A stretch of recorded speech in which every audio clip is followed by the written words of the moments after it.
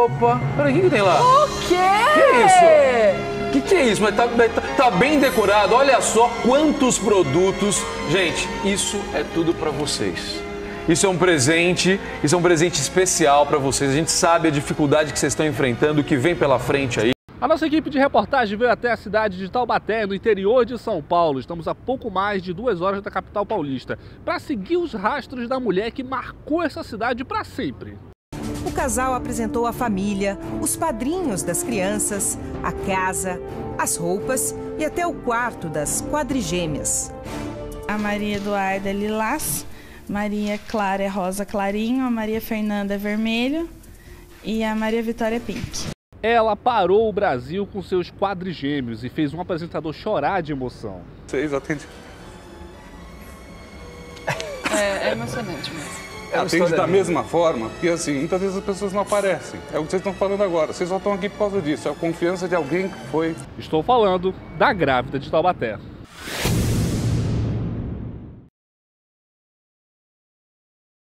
A investigação para localizar a grávida de Taubaté durou cerca de seis meses. Para nossa surpresa, ela não mudou de cidade como muitos pensavam.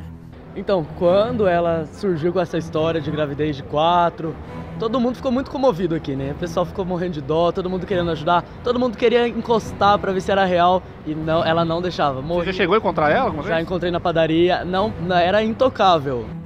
E ficou a pergunta no ar: Aonde está a Verônica? O que ela faz hoje em dia? Como ela está aparentemente? E era uma pessoa normal, uma pessoa comum, né? Não aparentou nada diferente. É, pessoa educada até, não tinha nada demais.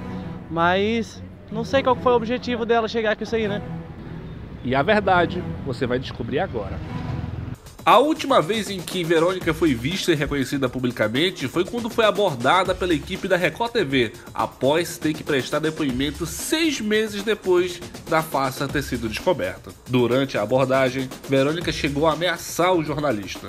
Você filmar e colocar na televisão um negócio Eu preciso falar com você, Verônica. Doutor, desculpa, eu tenho que falar com ela. Ela bem que tentou se esconder, mas não conseguiu. A nossa equipe descobriu que ela abriu uma loja de artigos religiosos aqui mesmo em Taubaté.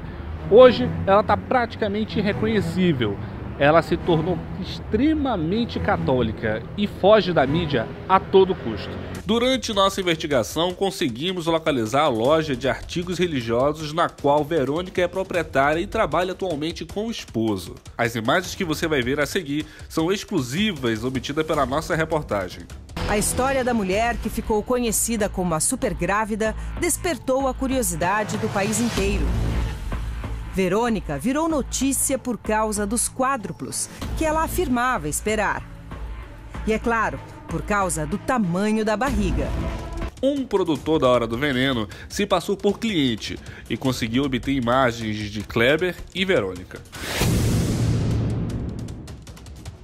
O primeiro que aparece nas imagens é Kleber, esposo de Verônica, que largou o emprego e resolveu, depois de anos, abrir um negócio de artigos religiosos junto com a esposa.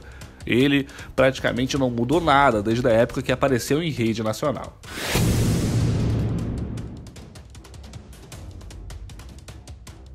Com cabelo diferente e de óculos, Verônica aparece.